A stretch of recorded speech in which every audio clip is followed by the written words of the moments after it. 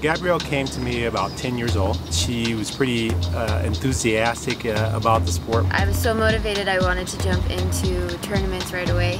Uh, I didn't even know how to serve my first tournament. I just was so excited to get out there and and of course Gabe was right behind me through my entire junior career. Remember Gabby, when the ball come, when the ball goes up and goes up in the air and it spins in the air, that's where you take your step. Before I strike the ball, that's where you're going to do your split. And then as I strike the ball, know where it's going and come out of your split and step out with the racket out to the side of your rip the ball. About at the age of 16, 17, I really started to work with Gabe and talk about going after college and seeing what I can do with a scholarship. And that was a, a huge blessing. He really, really helped me through the scouting process to set myself up for the best scholarship that I could get.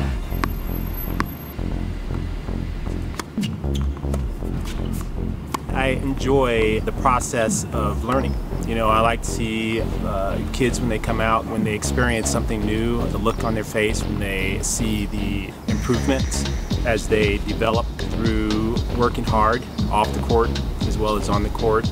That, that gives me my, my pleasure. You know, it gives me the passion to keep driving to, to develop and help players I can honestly say I, I would not have gotten the opportunities that I did end up getting if it weren't for his, his guidance, his help, his friendship. I was able to accept a full-ride scholarship at Vanguard University of Southern California. It was in Newport Beach and it was an incredible experience.